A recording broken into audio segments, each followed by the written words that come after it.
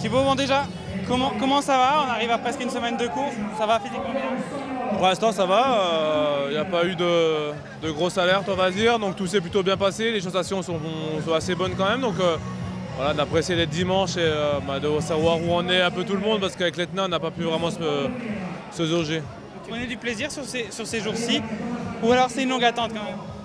Bon, on prend du plaisir, c'est vrai que voilà, j'ai découvert la, Sardaigne, la Sicile, donc c'est des, coins que je connais pas, donc on prend un peu de plaisir, mais c'est vrai que le peloton est quand même assez nerveux depuis le départ, il y a pas mal de vent aussi, donc, euh, euh, donc, voilà, mais maintenant on va se diriger vers le week-end, ça va, ça va aller mieux. Hier vous avez fait rouler votre équipe, pourquoi euh, Non, on n'a pas fait rouler notre équipe hier, on est resté bien placé parce qu'il y avait un risque de bordure sur le ravito, donc on est resté placé une fois que le danger était passé, on s'est remis dans les roues. Côté vin, vous, allez l'avoir encore aujourd'hui en bord de mer. Hein. Ouais, c'est sûr. Bah, de toute façon, on sait dès qu'on est au bord de mer, il y a un risque de vent, donc euh, voilà, on va faire attention comme les derniers jours. Les blockouts, est-ce qu'il y a une petite idée dans la tête là?